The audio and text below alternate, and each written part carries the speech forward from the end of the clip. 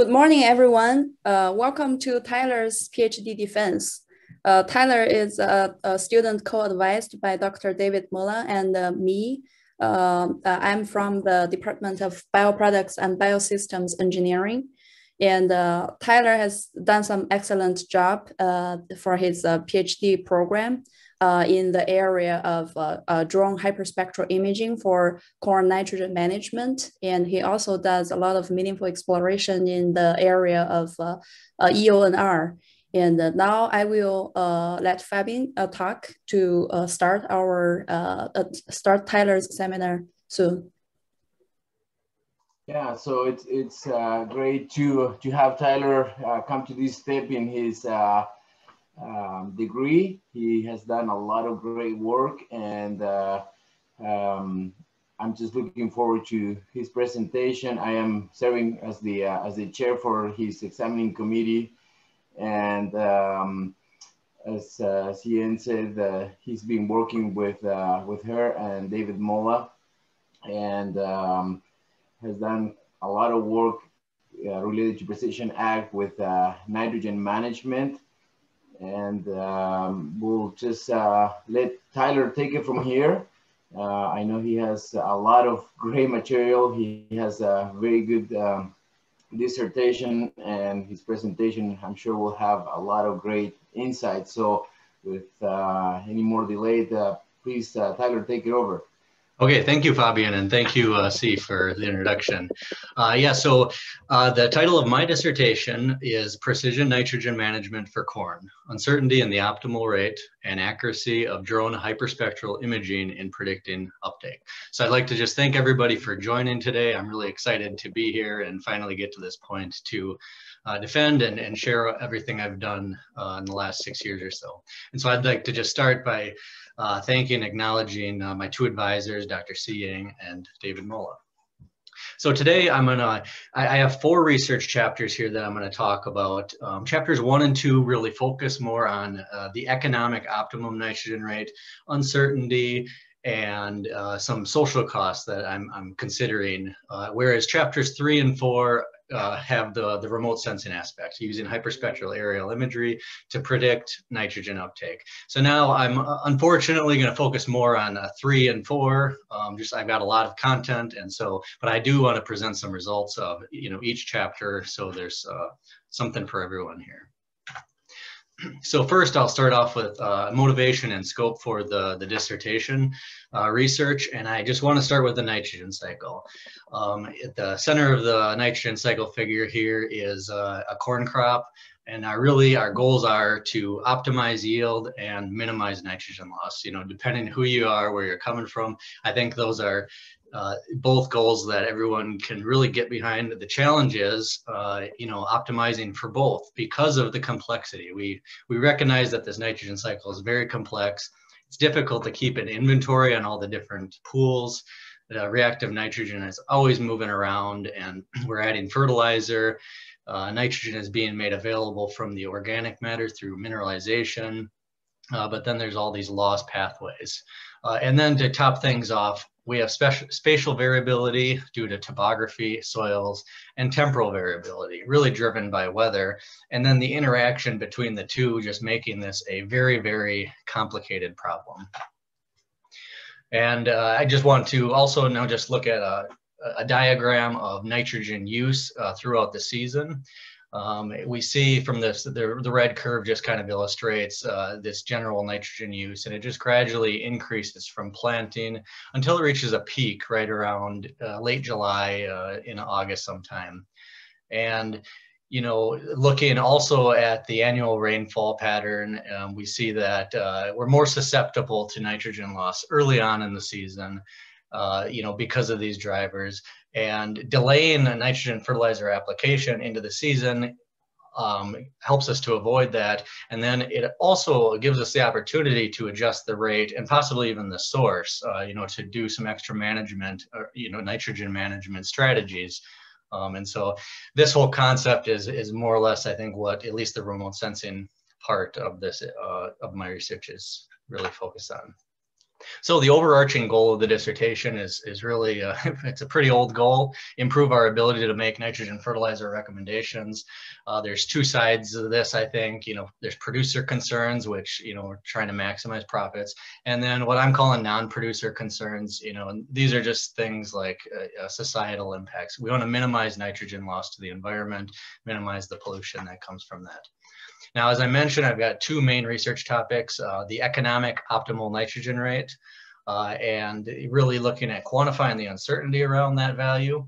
And then also uh, considering externalities, considering uh, some social cost of nitrogen, you know, the cost of the pollution from that nitrogen, and kind of really taking it from an agronomic perspective. Uh, the second research topic has to do with uh, remote sensing using hyperspectral aerial imagery to uh, predict nitrogen uptake. Okay, so getting into uh, the research, um, I'm going to start out uh, uh, with a chapter published in Computers and Electronics in Agriculture um, two years ago. Uh, the title is Computing Uncertainty and the Optimum Nitrogen Rate Using a Generalized Cost Function. So now a little bit background on the EONR um, is it's, it's just to make the most favorable nitrogen fertilizer recommendation, considering really three variables. The first uh, is the, the grain yield response to nitrogen. this is the blue curve on, on the plot here. And how do we get this? We put in a field trial, we put many different nitrogen rates out, and then we measure yield at the end of the year. And then we plot that, we model the relationship, and we get the blue line. The other two considerations are grain price and fertilizer costs.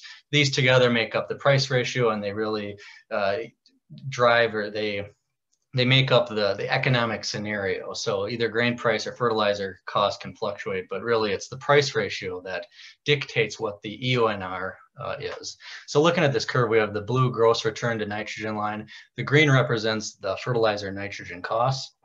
And so we acknowledge, okay, we're paying money for that fertilizer. The difference between the gross and the costs um, is our net return to nitrogen, this red line. And the, the opt or the, the maximum point on this line is our EONR value or our maximum return to nitrogen value. So in this case, um, it's 131 pounds of nitrogen per acre corresponding to a return of about $200 per acre. So the objectives of this work were to calculate the uncertainty around this estimated EONR value. And then second, consider some externalities in the optimal nitrogen rate calculation, such as the social costs from uh, nitrogen pollution from excess nitrogen. So first on the uncertainty aspect, uh, I just want to use uh, list out some methods to compute the uncertainty. And I'm going to start with this plus or minus 1 um, return per acre return. Uh, there's no statistical basis for this, so it's not really uncertainty. Um, I'm putting it here though because it's oftentimes expressed as an uncertainty um, and it's not necessarily malicious or anything like that, but I think it is very misleading. Um, it's just a, a, way to express, uh, you know, this is the re, it, it, helps to manage a farmer or producer risk in, in their, uh, in what rate they would apply on either side of the economic optimum rate. Now, in terms of actually calculating the uncertainty, uh, there's three main methods, a Wald type, bootstrapping, and profile likelihood. Uh, I'm not going to get into all of the details of these, but there's trade-offs among them. They go from more simple to more complex, but the gold standard is this profile likelihood approach. Uh, uses a sum of squares and is an iterative approach comparing against the EONR and then iteratively away from the EONR until we no longer have a statistically significant relationship. Okay, now second, uh, the social cost of nitrogen. This is defined as the present value of monetary damages caused by an incremental increase in nitrogen. A lot of work by uh, Bonnie Keeler here at the University of Minnesota um, in recent years. And, you know, there's some, the, the biggest thing that I want to point out is, you know, besides that, you know, there's some of this work being done and this social cost of nitrogen being put, you know, applied and kind of uh, put, put a, a quantity put to it. Um, you know, the other thing I want to point out is just the magnitude of this social costs. And so, you know, we see we see that you know there's some areas that are really dark, and this is five dollars, ten dollars, fifty dollars, and this is in units of kilograms of nitrogen applied. Um, so quite substantial. You know, some of these uh, social cost estimates. So to address this, I created a, a Python package. Uh, it's called EONR. Um, the EONR uh, package computes the optimal nitrogen rate and its confidence intervals. Uh, it supports both quadratic, quadratic plateau models, uses a generalized cost function so we can consider some of these externalities. The only inputs are, you know, your field, your nitrogen rate response data from a field trial. So nitrogen rate and yield. And then you can add in different assumptions for grain price, fertilizer cost, consider social costs of nitrogen, choose which confidence intervals you want to use, which type. There's all that, that sort of flexibility. Uh, and so, you know, then we can produce a plot like I just showed, and then another output is, you know, more of a tabular version. Uh, and so this table is uh, really showing, okay, we, we use this EONR tool three times, and so we can compare different economic scenarios. If we want to, we can, can compare different sites. And this is representing the agronomic optimum nitrogen rate, where we're considering only the price of grain, uh, the ec economic optimum, considering fertilizer as well, and then the socially optimum, considering the social costs. And then we can yeah, use it to calculate the optimum nitrogen rate. And then, of course, the confidence intervals. And this is like the, the, the big thing, the, the important thing, I think, that um, this tool just helps to make this really easy. Um, like I said, we just put in our assumptions and then our, our data and um, the results are there. So this EONR Python package makes it easy to report uncertainty using any of the methods, any confidence interval we'd like, and possible to consider externalities, um, the social cost of nitrogen. And it has a nice uh, interface, I suppose, to make graphs and get, get your tables and everything like that. So for more information on this, uh, I'd say go to the documentation, eonr.readthedocs. Uh, there's tutorials, a full description of features and API. It's all hosted on GitHub. And again, the, the details of, of you know all the equations that went into these calculations published in Computers and Electronics in Agriculture. Okay, so moving on uh, to chapter two. The social cost of nitrogen, acknowledging the gap between the economic and socially optimum rate. So this research was really inspired by previous work that quantified the social cost of nitrogen at various scales. So I mentioned, you know, I showed that slide on the social cost of nitrogen. You know, I really wanted to take, uh, you know, take that, but like from an agronomic perspective, from the variability that we see from field to field, from year to year, right here in Minnesota. Um, so the first uh, objective here was to quantify the uncertainty around the EONR. Uh, second, evaluate the relationship between EONR and grain yield. Uh, this is important, I think, because we have to do a better job of being able to predict EONR and finding this optimum rate. Um, and so just kind of like a data exploration task to do that.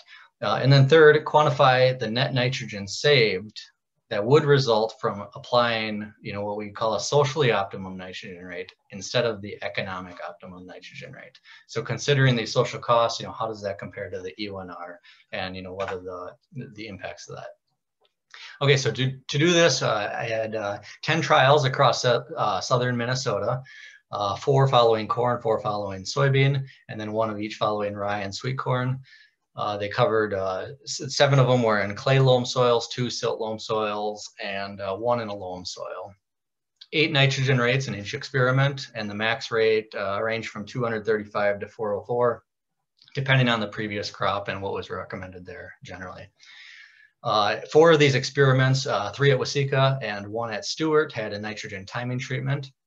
And for the purpose of this analysis, they were analyzed as a separate EONR data set. So we had pre-plant analyzed separately from the pre-plant plus V5 nitrogen applications and uh, pre-plant plus V10. So on to the results. And so here we're seeing um, a, a, figure. I just want to draw your attention on the left side here. These are all of the, the sites uh, nitrogen application timing and then the year. And then on the x-axis uh, is uh, grain yield. And focusing in on the box plots, which represent the grain yield, uh, we see quite a distribution in, in mean grain yield that range from 8.5 to 14.2 megagrams per hectare. And then the EONR is plotted by the points on the, the upper x-axis. Um, and so we've got the points, which is the estimated EONR, and then the line represents the 90% uh, confidence interval around that point. These EONR calculations use a 5.6 price ratio, which is a 0.10 imperial price ratio for those that are more familiar with that system. Um, and uh, yeah, the estimated EONR uh, across all these sites ranged from 68 to 394 kilograms per hectare. So quite a wide range um, in estimated EONR values.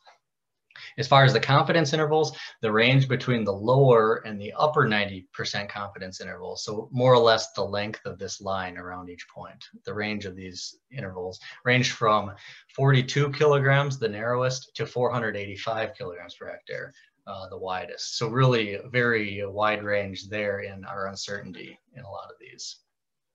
Okay, moving on to the second objective, um, the relationship between the EONR and grain yield. And now I just want to reiterate, you know, like I, I want to look at these things because I think it's important to be able to predict EONR. We have to find relationships in the data with EONR so then we can uh, make better, uh, understand the EONR better in the future, you know, for future growing seasons. Um, and so is what I did here is I took many grain yield metrics and just uh, plotted them against EONR. Um, and I'm only going to show a few, but I'll kind of give you the highlights here. Um, the first thing I'm showing here is the grain yield at EONR. So we did, our, we calculated the EONR. What was the grain yield there? Um, we know from a lot of past work, there's really no relationship here. This data didn't show anything different, uh, very weak relationship. Uh, down here on the, the, lower left, this plot uh, shows uh, the grain yield at the zero nitrogen rate. So, you know, just that control plot against what the EONR was. And there's actually a, a fair relationship here, an R value of uh, negative 0.7. So as EONR increased, the grain yield at the zero rate, you know, we saw a general decrease.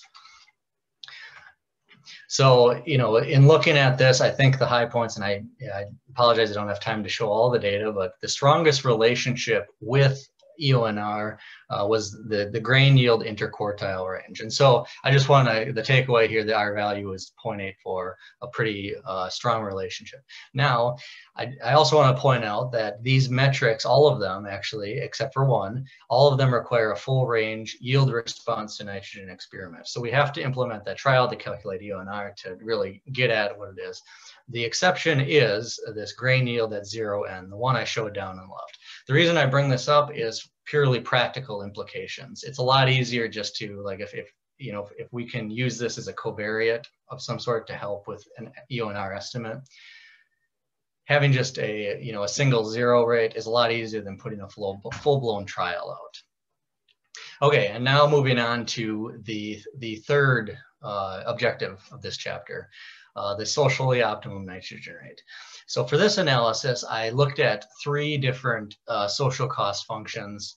Um, and unfortunately, I'm going to have to just kind of gloss over the assumptions under each one. I'll just say that the assumptions are different. Um, and you know, the, the what I tried to do here was consider a different set of assumptions for for calculating the social costs. Um, and then that resulted in different private losses for the producer, different social gains, you know, all together based on the assumptions. And then when we compare the economic optimum nitrogen rate to the the socially optimum nitrogen rate, we get this net nitrogen saved. And so I did this, um, I calculated net nitrogen saved, private loss, uh, social gain for each of these cost functions. Um, and again, I'm just going to point out just one highlight here, uh, kind of glossing over a lot of the details. Uh, there's a lot of interesting things I think to look at here. And that is this net nitrogen fertilizer savings. And so again, this is just the difference between the EONR and the SONR. So if we were to apply the socially optimum rate instead of the economic optimum rate, you know, how much nitrogen was saved. Um, and so these different cost functions, we see a different nitrogen fertilizer savings. Um, you know, this cost function A had the most savings and cost function B had the least savings. Now, what I want to point out here and tying back to the first objective of this uh, experiment uh, is this range in our confidence intervals. The, the upper, lower and upper 90% confidence intervals uh, range from 42 to 485 kilograms per hectare. And so when we kind of just look at that uh, next to, you know, the social cost savings, the uh, the magnitude the magnitude of our uncertainty is sometimes you know depending on the assumptions we use sometimes three times four times as high. And the best case scenario is is what uh, we're actually saving you know depending on which uh, social cost function is is used so the conclusions from this chapter, uh, we saw that EONR has a moderately strong relationship with uh, interquartile range uh, of grain yield, which I didn't show, but I told you, and a fair relationship with grain yield at zero nitrogen. Second, the 90% confidence intervals of the EONR were both very wide and they're variable across data sets, range from 42 to 485 kilograms per hectare. Third, the range of the narrowest 90% confidence interval. So this is like the best case scenario or our lowest uncertainty. The, this range was greater than the mean and the median net nitrogen saved as a socially optimum nitrogen rate. And so this is across any of the social cost functions. And so the question I ask, you know, when, you know, when looking at that is, is, uh, is uncertainty in the EONR and then thus the SONR is that uncertainty driving these social costs that we're seeing? Another way to say this is, is, is our lack of ability to really understand and measure the nitrogen cycle and put on, estimate the optimum nitrogen rate and then see that through by applying exactly the right rate is that you know resulting in you know excess nitrogen being applied and you know really driving these social costs you know is is and uh, I kind of look at it from a perspective of, um, you know, producers they're putting on nitrogen fertilizer. A lot of times, it's a, they look at it as a cheap insurance, and um, instead of uh, be, because of the economic scenario, it oftentimes uh, it just is is the easiest just to apply a little bit of extra. Um, but really, the problem is, I think, in not being able to understand a lot of the things with the nitrogen cycle itself. Uh, so anyways, uh, fourth conclusion here, uh, the method for calculating social gains is critically important. Um, and so just want to point out, you know, like if someday down the road a policy is implemented, uh, improper calculation of social gains may result in private losses without necessarily improving social gains. And so I didn't get into a lot of this, but I just wanted to point, point that out. Okay, and so that concludes the, the EONR portion of this, and now on to the remote sensing portion. So chapter three of my dissertation titled Prediction of Early Season Nitrogen Uptake in Maize Using High Resolution Aerial Hyperspectral Imagery. Now this work was published last year in Remote Sensing. So uh, I just want to start out with a little bit of background about remote sensing. Um, and so we're seeing an image up here, an aerial image of, uh, of uh, corn plants at an early growth stage. And we can see that, you know, when we look at soil versus uh, the, the tissue, the corn leaf, the reflectance is much different. So we see these different uh, spectral signatures. And so this is just showing uh, percent reflectance across the visible and near infrared regions. And so the concept here is that there's different energy reflected at different wavelengths, and a lot of it is driven by physiological uh, phenomena. And so we can use the spectral information to determine the difference and quantify the difference between a dead leaf, a stressed leaf, and a healthy leaf. so the overall goal of this work is just to predict early season nitrogen uptake using high resolution hyperspectral imagery. Uh, and so I'm going to go through some of the, the, the, methods that I use to do this uh, kind of one at a time. So I'm going to start in on image capture and data capture. So we used a DJI Matrice 600 uh, Pro drone and we uh, put on this uh, the hyperspectral camera, a Resonon Pika 2 camera, and in this uh, photo up here, you know, we can see the the camera. Um, there's also a flight computer uh, to you know process all the data, and then there's a solid state drive there, pancaked in between to hold the data. And then also part of this system is an inertial momentum unit, this little red thing, and then a GPS up top. And this is all mounted on a gimbal. And uh, the GPS and the IMU, the inertial system, are used to georeference the imagery uh, when we got them. Some of the specifications of this hyperspectral camera, um, it uh, was uh, sensitive to visible and near infrared light. Um, so normal cameras are only sensitive to visible light, red, green, and blue. This extended into the near infrared region, which is important for uh, vegetative analysis. And then there are 240 bands, 240 spectral channels, um, really 240 different colors that this camera is sensitive to uh, compared to, you know, a normal camera from your cell phone is three colors, red, green, and blue. Okay, so moving on to the ground truth data. So we used uh, three experimental sites um, for, you know, for the collection of this. Uh, Wells, Minnesota, Uh, and then Waseca small plot highlighted here in the gray, and then the Waseca whole field is, you know, the, the gold outlines here. And the biggest thing I want to point out here is, yeah, we use three experiments uh, because of the different uh, spatial extent of each of these experiments. We had to fly the drone at a different altitude. Um, so the small plot, you know, we could get away with a lower altitude and get higher resolution um, imagery. Uh, but the Waseca whole field, which is 11.2 hectares in area, we had to fly at 80 meters. And this is a balance between, you know, we want a small pixel size to get the most detail, but we also have a limited battery life, and so we have to plan accordingly.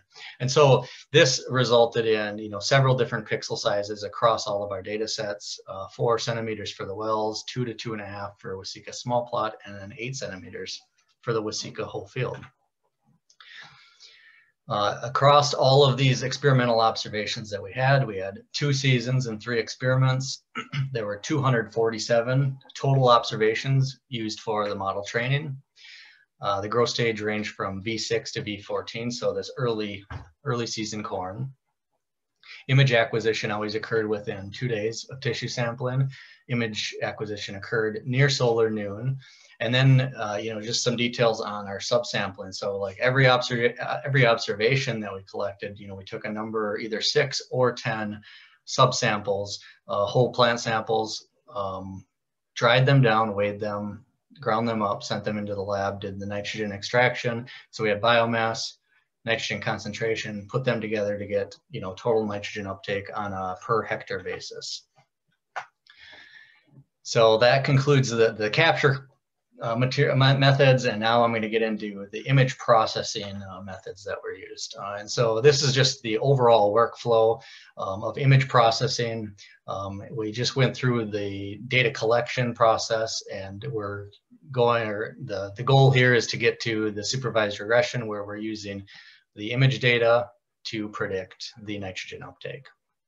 So uh, now onto the image processing, we we captured the raw imagery, converted to radiance using the manufacturer calibration file provided by Resonon, the camera manufacturer. And then using the GPS and IMU data, georeferenced the imagery. And then uh, the next step was reflectance conversion. For reflectance conversion, we placed these uh, uh, gray uh, reference panels in the field when we captured the imagery. 50-50 uh, mixture of paint and barium sulfate. And then using that, uh, we applied the empirical line method to convert from the radiance to the reflectance. This is uh, the spectral profile of the re reference panel, really pretty flat, right around 40, 45% reflectance. The next uh, step was to crop the imagery uh, by plot boundaries. So using, you know, building off of the last step, taking the imagery from there, um, we want to uh, crop by field boundary. The idea here is that uh, there are many plots in every image, uh, and by cropping by plot boundaries does two things. First, it and make sure we don't have any pixels outside of the plot area represented in this plot. So we can only consider these pixels, you know, moving forward. And second, it just allows for much easier processing for all the subsequent steps. We have 247 observations. After this step, we have 247 images that are much smaller than the original images. The next step is the clipping step. Uh, and so this is done on a per pixel basis. So we're just looking at a single pixel here, and then this graph shows the spectral curve for that pixel. Um, we see that there's some really noisy bands near the ends of the spectrum. Uh, and then also, you know, we saw in some cases some noise in these uh, oxygen and water absorption regions. this clip step just removed those bands. So we went from 240 bands originally to 210 bands after this step. Next, the smooth step.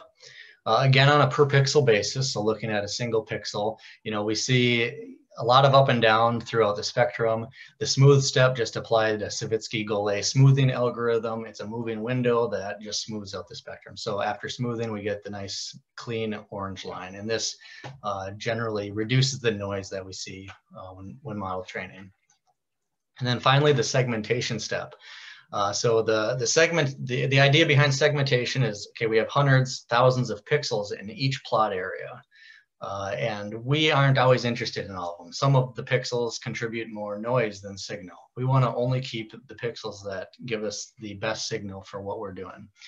And so to do that, we want to, in, my case, I wanted to do get rid of the soil pixels, the shadow pixels, and any of these mixed pixels that were maybe part soil, part vegetation. Uh, to do this, I use the MCARI2 algorithm, uh, or spectral index. The spectral index uses the green band, the red band, and the near infrared band. And the reason MCARI2 was used is because it's sensitive to leaf area index, and is rather insensitive to chlorophyll influence. And the second part, insensitivity to chlorophyll influence, was important for me because we have these nitrogen response trials and uh, we see a lot of difference in chlorophyll. And I didn't want that to be an extra bias, um, if at all possible, in this segmentation step.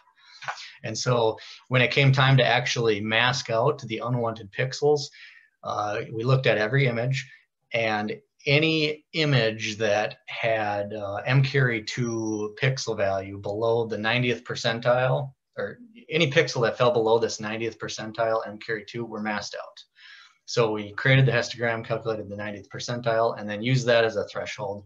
Only kept those pixels that were above the 90th percentile, which are those pixels that are most pure vegetation.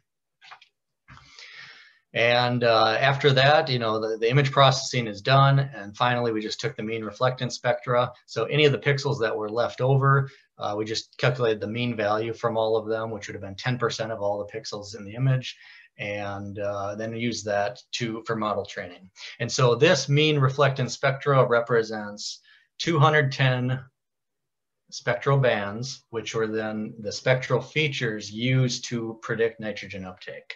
Uh, we didn't use all of them. We did feature selection, but um, they were the, the candidates for model training. So now moving on to the, the model training itself, which includes feature selection, hyperparameter tuning, and the cross-validation. You know, we started with this full data set, 247 observations, split it into training and testing. Uh, the test set was reserved to independently assess final model performance and you know at, at, the end of everything. And then the training set was used for feature selection hyperparameter tuning and model training. Uh, and for those steps you know we did a repeated stratified k-fold cross cross validation to get the, the right parameters to get the right number of features and then to do the, the model training. For, for feature selection lasso was used uh, this is the least absolute shrinkage and selection operator hyperparameter tuning, we used a grid search cross-validation technique to just search a, a um, feature space to get the best hyperparameters. And then finally for testing and training, uh, four supervised regression models were used to predict nitrogen uptake. And then, uh, so they were lasso, support vector machine, random forest, and partial least squares. And then obviously we wanted to compare the differences between these to see if any of them were, you know, superior to the others. So on to the results. You know, the objective here was to compare these supervised learning algorithms for their ability to predict nitrogen uptake. And so I've got each of these uh, models here. And I'm going to show the results for each. Um, the, the plot is just showing predicted nitrogen uptake on the x-axis, measured on the y-axis, and the, the dash line is the one-to-one line. So a perfect model, we'd have all these points fall right on that uh, one-to-one line. The different colors that we're seeing correspond to the different pixel size from the different data sets, uh, the Wells, Waseca small plot, etc. And the different shapes are the different growth stages. Um, and so we see as growth stages progress, we have more nitrogen uptake. Makes perfect sense. Okay, so the, the lasso model had an R squared value of 0.83, uh, root mean square error of 15.3, um, which is fairly good. Support vector machine, uh, very similar. Random forest um, had a little bit higher root mean square error, 17.8, and partial least squares uh, was similar to lasso and support vector machine. Um, so the takeaways from here, you know, we looked at a range and observed nitrogen uptake from 4.8 to 181.5 kilograms per hectare. Really a pretty wide range, you know, from the V6 to the V14 growth stage. So this model is robust to anything in that in that area. And uh, the range in root mean square error values uh, was 15.3 to 17.8. Relative root mean square error from 27 to 31 percent. And the LASSO, SVR, and PLS models had comparable for performance, whereas the random forest was a bit inferior. Um, and now the, the second uh, objective of this experiment was to quantify the potential model improvement by including an auxiliary feature derived before the segmentation process. So including an auxiliary feature, I wanna explain this a little bit. Um, and so we have, you know, in, in chapter three, I described this or early on in the methods, I described uh, the methods uh, for segmentation. And so we use MCARI2 to basically uh, build this histogram, and then we use the 90th percentile to mask out. And so when looking at this 90th percentile, I thought, well, maybe that can be something that, you know, gives us, and I could be an auxiliary feature.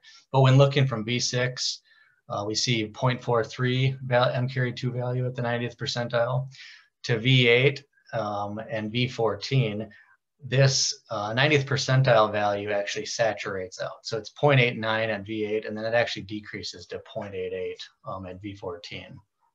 But we also see that uh, the histograms look very different at V8 and V14. I mean, this makes intuitive sense, like the crop is still growing and we're just seeing a lot more vegetative, uh, a lot more vegetation.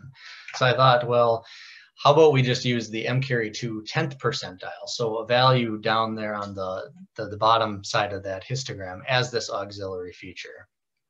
And so that auxiliary feature was added in. Um, so in addition to the 210 spectral features, we added in this, this 211th feature, M carry 2 10th percentile. Did all the same things, trained the models. Um, I uh, love to get into the details of all these, but I'll just give an overview. Um, across all the algorithms, the range in root mean square error was 13.6 to 15.6 kilograms per hectare, uh, relative root mean square of 24 to 27. Again, the random forest was inferior to the other three models. Um, across all the models, the average root mean square error was reduced by 1.8 kilograms per hectare. So this is an 11% improvement by adding in this auxiliary feature, uh, which I think is pretty, you know, exciting. It was uh, really good results. Uh, um, it was a good idea to add that in. Um, taking a step back from all this, um, I just wanted to ask a couple questions here, and you know, to put this in context. You know, first, can hyperspectral imagery predict early season nitrogen uptake? We just showed that yes, it can, and it can have very high accuracy. I was really excited to see the results of this. It is way better than um, you know I thought it was going to be. Um, so I was really excited. It's um, improvement upon anything I was able to see in the literature. Um, but a second question here, is hyperspectral imagery useful for making a fertilizer recommendation? My answer to that, maybe not quite as confident, um, probably. Uh, the cost of hyperspectral equipment is still high. Image capture and processing turnaround is less than ideal. And I think most important here is, uh, is little is known about early season nitrogen uptake and how that relates to upcoming crop nitrogen demand we have, um, you know, we were able to predict nitrogen uptake, uh, but what is this relationship with nitrogen demand? I think it's important to uh, really get to, you know, this fertilizer recommendation. So the conclusions of this chapter are that LASSO and PLS models generally emerged as preferred, both because of their superior prediction accuracy and more efficient tuning. Uh, nitrogen update uptake prediction accuracy was improved over other reports in the literature using remote sensing techniques. However, I will say like a lot of times cross-validation results aren't provided. And so it's really difficult to make a apples to apples comparison. I think it's something that, um, you know, agricultural research in general, we have to work on to provide more cross-validation results. Okay, and then finally, uh, the, the, last chapter, chapter four, uh, treating image processing like hyperparameter optimization, the influence of processing workflow on prediction accuracy. Uh, the motivation here, you know, remote sensing analysts, they're, you know, we're expected to ensure that image processing has been performed to a reasonable degree before proceeding with analysis. But many analysis, even those very experienced, find themselves asking them, uh, you know, when is it good enough? Uh, when can I stop doing image processing? Do I have to keep on going or not? Uh, also, which image processing steps are more important? And uh, finally, how should a particular processing step be implemented for my particular use case for predicting nitrogen uptake? And so this, uh, you know, this experiment is really looking to address these questions. The objectives um, specifically were to identify the processing steps that have the greatest influence on prediction error. So the final model error, which processing steps uh, influence that the most. And then second, to quantify the influence of hundreds of image processing workflow scenarios on final prediction error. Now to do this, I uh, streamlined or I, I, put together the image processing and the model training all in one workflow and then use uh, Minnesota Supercomputing Institute resources to generate all the data, train all the models, and then get to the place where we can analyze the results. This created about 10 terabytes of data, so the, the MSI resources were crucial. So continuing what we learned from chapter three, using the same use case, aerial hyperspectral imagery to predict early season corn nitrogen uptake. We did add in a couple data sets. Um, uh, Wells 2019 was the biggest one. So the total for experimental observations in this study, we had eight data sets, still two years, three experiments, 407 observations, increased from 247 across five growth stages, again, V6 to V14. Sampling was always within four days of image capture, and then we always captured it around solar noon. so you saw this image processing workflow chart already, uh, and the only thing different here is the bin step. And I'm gonna go through each of these to kind of, to, to be able to set up like exactly what I did. So at each of these image processing steps, there's I kind of look at it as a fork in the road. We can process the imagery in one of many different ways. Um, so I'll go through each of these processing steps. First, converting to reflectance.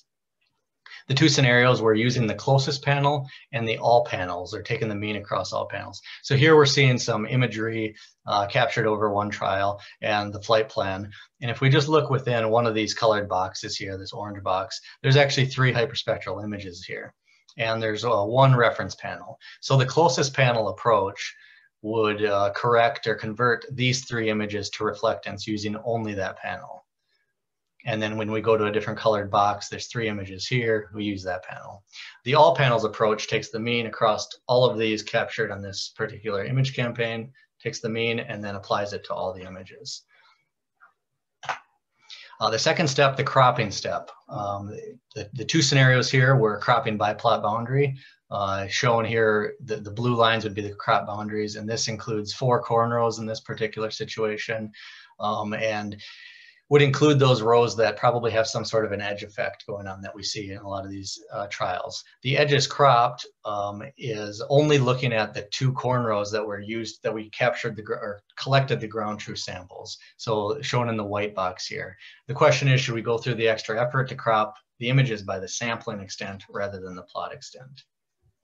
The next step, clipping, uh, either do no spectral clipping, clip only the ends, or third, uh, clip the ends plus these oxygen and water absorption bands. Smoothing, really straightforward. Perform smoothing, don't perform smoothing. Uh, the bin step, this is the new one, um, and I just want to discuss this for a little bit. Uh, the, the first one, no spectral binning. Uh, the second, spectral mimic, uh, Sentinel 2A. This, the idea here is that we have hyperspectral data uh, that uh, is expressed by this green line here. Um, but there's many other sensors. Uh, so the Sentinel-2A is a satellite sensor. It's multispectral. And with hyperspectral and the specifications of that Sentinel-2A sensor, we have the opportunity really to manipulate this hyperspectral imagery so that it mimics the Sentinel-2A multispectral imagery so that we can you know, see the data that would have been collected theoretically if we would have had a multispectral sensor. And so that's what this process is doing. And then the third step is a spectral bin at 20 nanometers. So instead of having two nanometer spectral resolution and 240 bands, we have a 20 nanometer resolution and uh, something like 20 bands or so. And then finally, this last step is the segmentation step. Uh, there's really, I think, an infinite number of ways that we could perform segmentation. And just remind you that in chapter three, we use the MCARI2 greater than 90th percentile. Uh, hopefully that looks familiar. Uh, and we just evaluated, you know, no segmentation, you know, some different NDVI approaches. NDVI has a good relationship with biomass um, and some different MCARI2 approaches. And then we had some multi-step approaches then as well. So altogether, we have all these different forks in the road uh, and all these different processing steps. Uh, and there were altogether 648 workflow scenarios evaluated. So every image was processed 648 times. There were 648 models trained and built so that we could uh, evaluate the results. So following image processing, we took the mean reflectance spectrum, uh, proceeded with supervised regression learning. We used lasso and partial least squares regression models based on results from the last chapter. And then feature selection, hyperparameter tuning, everything was done similar to how it was in chapter three. Okay, so the results. Um, this so we did a sensitivity analysis uh, to show that you know to find out which steps were most important, which ones had the most sensitivity to the final model result, and uh, the segmentation and binning steps uh, have the most influence. And so you know this just tells me that okay, this is the area where we should probably focus more attention is on these steps, you know, compared to the other steps. Uh, another thing that I did, um, you know, for each uh, processing step is built an empirical cumulative density function. Uh, and so we're seeing here just for the reference panel step, um, we see the, the orange and the blue lines correspond to the two scenarios at this step, the closest panel and the all panels. And this cumulative density function is just showing the root mean square error value for each of the 648 models stacked up in order uh, of each other. And so each line represents you know, the, the, cumul the cumulative root mean square error for each reference panel scenario, and it's averaged across all of these other uh, image processing steps. And what this shows us is that, you know, first of all, we can see the, the lowest error and the highest error for this particular uh, step, uh, about 14.3, and the, the highest is about close to 20 uh, root mean square error. And second, when we compare the, the blue line to the orange line, we see a difference in slope, especially at these low error values. And low error is good. Um, and so we want to see, you know, more of our models over here. Uh, and so when we did the all panels approach, we see that we have lower error values than if we did the closest panel approach. This tells me that, okay, the all panels approach seems to be better, um, you know, for in this particular case. And now I did this for, you know, of course, every processing step, but I can't get into all of those details. There's a lot of really interesting things to look at, I think. Um, but, you know, asking uh, what was the optimal workflow scenario, I just want to point out each of these. So at the reference panel step, it was to, uh, you know, take uh, the mean of all panels. At the cropping step, it was worth it to remove the edge effect and just crop the edges out. Um, the clipping step, skip it, you know, use the whole full hyperspectral data set uh, was the best. The smoothing was to perform smoothing. No spectral binning, again, use the full hyperspectral data set. And then the best uh, segmentation step was actually this two-step process, uh, MCARI2 greater than the 90th, and then second step was take the, the green greater than the 75th. Uh, and so I put all, you know, I put, uh, found the, the best case scenario with the lowest error, the worst case scenario with the highest error. And then I wanted to compare, okay, what did I do in chapter three, this more naive approach? And so skipping all the details of like which steps they actually were, I just kind of focus on the results. Uh, the root mean square error across scenarios ranged from 14.3 kilograms per hectare to 19.8 kilograms per hectare. And the optimal processing workflow actually reduced root mean square error 2.2 kilograms per hectare that's 15.4% compared to this naive processing workflow that I used in chapter three. So this was, you know, like as much of an expert as I would consider myself, you know, still pretty, I thought interesting because, you know, optimizing for this still, you know, showed me that, okay, you know, I really have no idea. And this whole protocol, this whole process helped me uh, get to the best. And so leading into the, the third conclusion here, you know, using, using this framework uh, really can help promote sensing analysts, improve model performance, and provide a data-driven justification for reproducibility and objectivity. Uh, and then, you know, I just want to point out this framework is an analogous to hyperparameter tuning and machine learning, where we're just looking at all of the possible uh, workflow scenarios, all the processing scenarios, and just trying to optimize for our particular use case. Okay, and so that concludes uh, chapter four. And now finally, I just want to uh, leave some concluding remarks and, and maybe some future direction here before wrapping up. Um, getting back to the overarching goal, we want to improve nitrogen fertilizer recommendations. Um, you know, I, I don't know that, you know, this solves the world's problems or anything, but I, I do think it provides some uh, good insights and improves our understanding of the problem, at least a couple particular aspects of it. Um, you know, mainly the uncertainty around the EONR in some of these Minnesota soils. Uh, second, to the relationships between EONR and grain yield metrics. You know, if we can continue to understand more about that and eventually get to a place where we can predict EONR early in the season, um, I think that's the goal. Uh, third, from an agronomics perspective, you know, the magnitude of the EONR uncertainty, which we saw was relatively high compared to nitrogen savings when considering the social costs was relatively low. You know, I think we have to take a hard look at that, uh, you know, when considering some of these social costs and understand, you know, what is the real problem here and, you know, like what is the best solution um, going forward. Uh, fourth, early season uh, inventory of crop nitrogen uptake. Uh, as, as was seen, we are able to predict nitrogen uptake with the remote sensing uh, information. Uh, this can be helpful for nitrogen budgeting and understanding in-season nitrogen uptake, you know, can help us understand uh, better the nitrogen cycle as we move through the season. And five, the influence of image processing on final model accuracy. Some steps are more important than others, and I propose a, a solution to find really the optimal. Some of the unanswered questions, uh, you know, is there a relationship between early season nitrogen uptake and optimal nitrogen fertilizer rate? I think this is important for making that final recommendation. I think it's something that's crucially important going forward. Uh, another question I have, you know, can the uncertainty around EONR estimates be reduced? Uh, you know, does this mean like maybe improving our experimental protocols to get a better representation of EONR? Can we consider some covariates, you know, to maybe reduce that uncertainty a little bit? You know, things like uh, um, yield at the zero nitrogen rate, like I had shown. Uh, three, does the optimal image processing workflow change for different use cases? You know, I showed nitrogen uptake for hyperspectral imagery. We use different imagery, you know, different experiments, different response variables. Does that change? And then finally, uh, can hyperspectral imagery be used to train a prediction model? Then can we deploy that model using imagery acquired from a different sensor?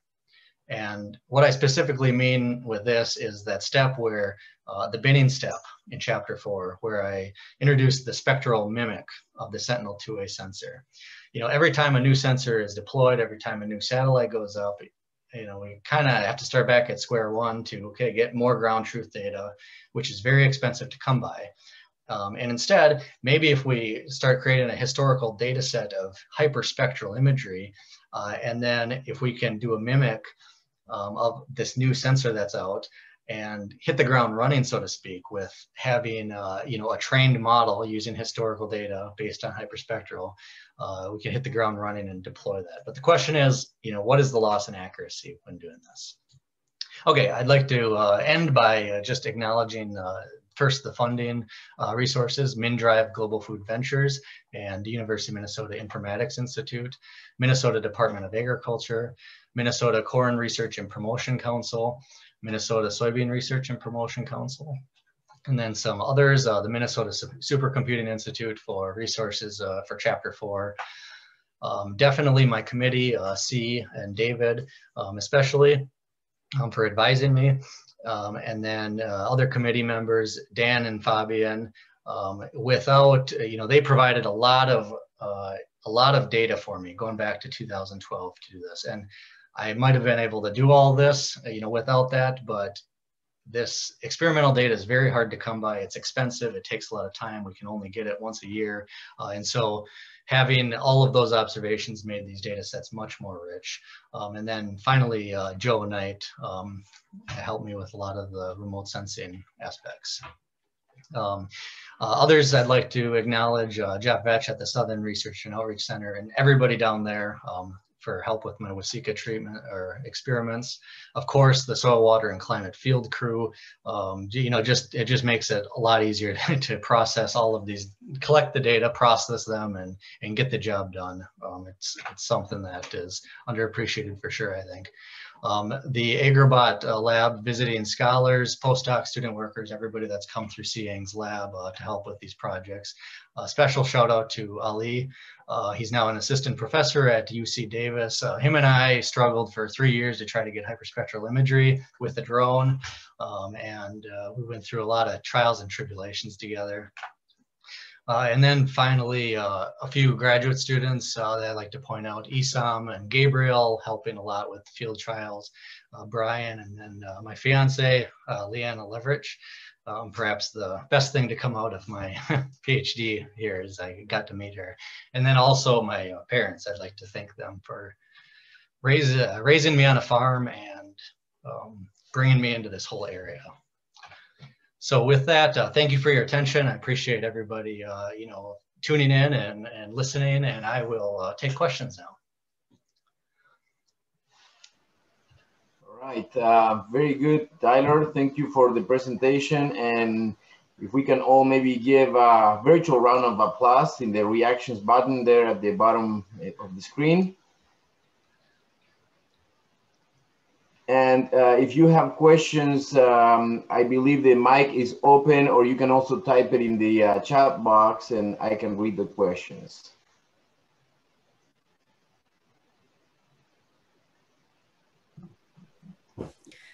Yeah, now you can unmute yourself and uh, if you have questions, please feel free to, to just ask.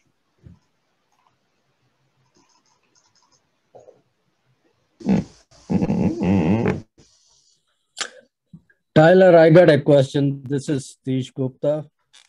Yes. Hey, very good job. A lot of work. Congratulations. Um, just a big, big picture question. What's the future of precision farming? Um, I think the future of precision farming, I think uh, the, the first thing that I think is being done um, and is really important is just to collect, uh, get, get a database uh, uh, built up and collected of high quality data. So we can use some of these machine learning uh, protocols to uh, to be able to make predictions really on anything. Um, in short, you know, I think it's br bringing some of these statistical approaches, these machine learning approaches, put it into the hands of the agronomists the ones that boots on the ground, you know, are seeing the day-to-day things. Uh, we know in agriculture, you know, you move across the road, it seems, and you see something different. Every year we see something different. And so just to bring that power into the agronomist's hands is, I think, the future. Okay, my second question is that, um, you know, one of the reasons for variability is the precip climate differences from year to year. And uh, even if you get a, some database, and that's what the you know extension people and fertility people have been doing, they've been laying down the plots and running mm. on a larger scale than you are doing it. So what's the difference? I mean, they come up with a recommendation, and you're going to come up with a recommendation, and we go to a next year, a same plot, we just still have a variability. So how do we take care of the climate? Interaction part that we cannot predict. Yeah, so I mean that's yeah that's the grand challenge, I suppose. Um, and you know, from uh, you know an algorithmic perspective, uh, you know what we're seeing every every year we get different weather, and we're always pushing the boundaries of these constraints of our models. And so what we see every new year, uh, it's outside of our assumptions, uh, outside of our constraints that we already have uh, yeah, and so I think what you're asking is like, you know, is it better to, you know, just kind of use these regional, you know, averages and maybe ignore to some extent the spatial variability we see, or to kind of look at this, uh, you know, at the field scale. Um,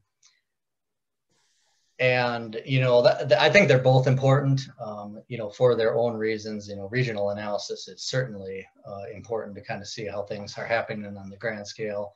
Um, and yeah, I don't know. That's that's a good question. I you know I don't have a good answer other than just to like uh, you know continue working at it, continue to improving these models uh, with new weather data. I mean, we are getting new weather data every year. Uh, you know, I don't know if hope is the right word, but hope that we see less climate variability uh, in the future, so we have more years that aren't outside of those constraints.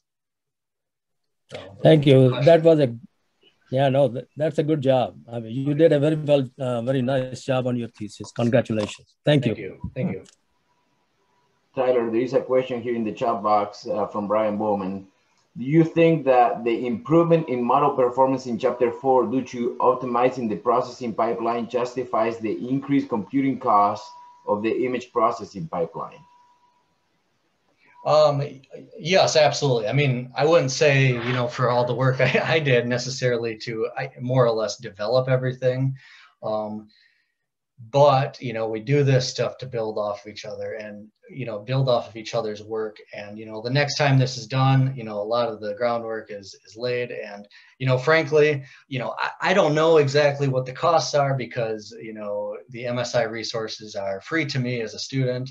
Um, and you know, once I got it all set up, like you know, those 10 terabytes of data, everything was generated in a matter of four hours.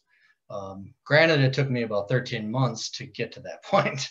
Um, so, but yeah, absolutely. And I think like if you know, if we can get this more automated and and more streamlined for different use cases and different data sets, yes.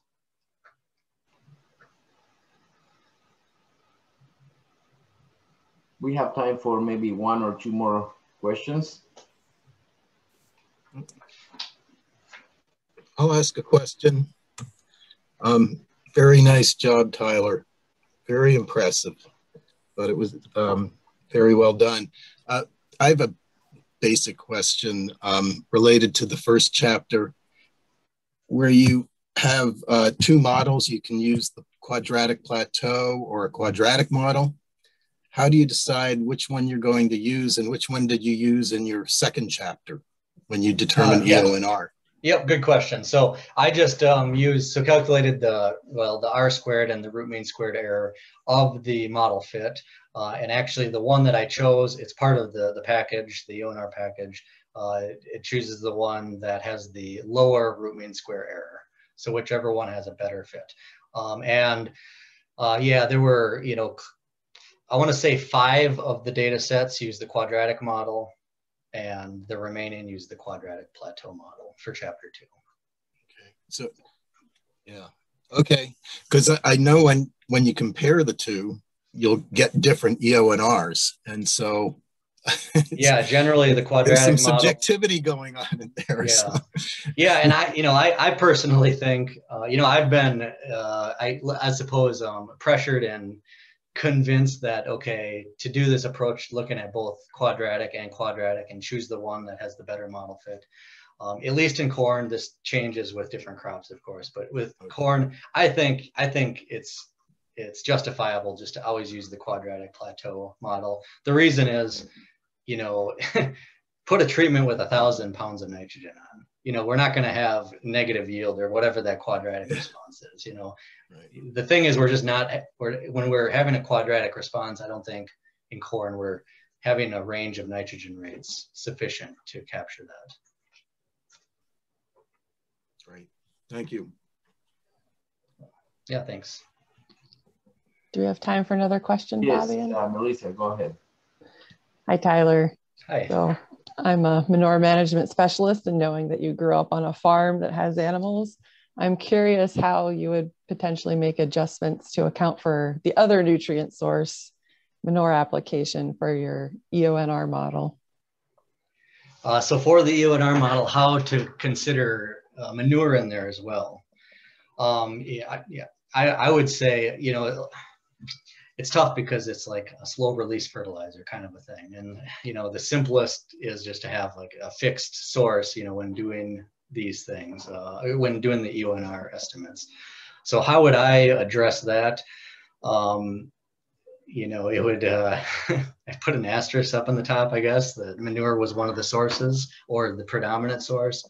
Um, I, you know, I think with manure, you know, it gets into second year manure credits, third year manure credits, and, you know, considering manure as more of a holistic fertilizer source. Um, it's just different than a lot of the commercial fertilizers. Um, and just a different cropping, not different cropping system, but just different management system that um, I would expect, you know, maybe you're looking for what I expect in the EONR. It expect it to decrease substantially and have a much higher yield at the zero nitrogen rate. So, you, know, with manure in the system. Tyler, there is one last question uh, in the chat box from um, Carol. What other scientific areas or others could benefit from this type of data that was collected, the hyperspectral imagery? Um, okay, so what other scientific areas? Uh, so yeah, I just looked at a precision ag use case uh, for predicting nitrogen uptake. Uh, you know, there's there's work using hyperspectral area uh, imagery to predict uh, soil moisture uh, before planting. You know, based on the color and the the type of the soil. So th that's one thing. You know, there's ecological applications. You know, looking at species mapping of um, you know forestry and and, and prairies uh, things like that. Uh, you know, in, in more in agriculture, uh, you know, any biophysical parameter of interest, um, it might be biomass, it might be canopy cover, it might be nitrogen uptake, nitrogen concentration. Uh, in potatoes, potato growers manage on petiole nitrate oftentimes. And so, you know, using the imagery to help predict uh, petiole nitrate, you know, to help uh, evaluate the spatial variability there. Um, really, I think it's you know almost infinite. Uh, granted that there's trade, you know, like the ability of the imagery to uh, predict some of those uh, response variables. You might be better or worse, just depending on other challenges. So. Very good. Thank you, Tyler, and thank you everybody for participating. There are a lot of uh, uh, congratulations and notes in the chat box for you, Tyler. Um, but uh, let's uh, conclude this this portion of uh, the presentation for today. Again, thank you, and um, feel free to sign out. Okay, thank you everyone for attending.